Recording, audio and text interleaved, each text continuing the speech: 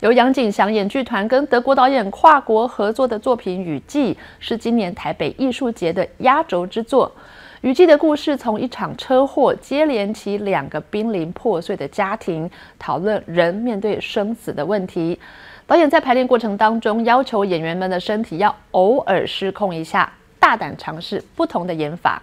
而四年多未曾上场演出的杨景祥，这次要卸下导演工作，以演员的身份登台，很值得期待。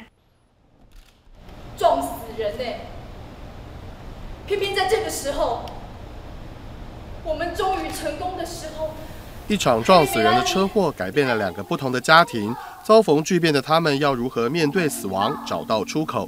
这是今年台北艺术节压轴作品，由台湾、德国跨国合作的《雨季》。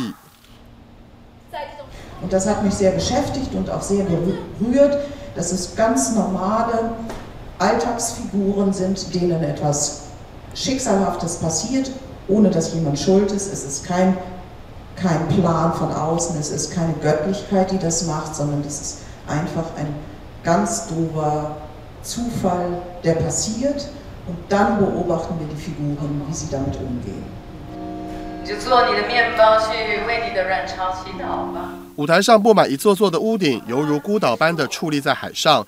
演员在屋顶上诉说着自己的人生故事，像是在等待救援，也像是为了延续生命努力的生存着。什么？你的访问？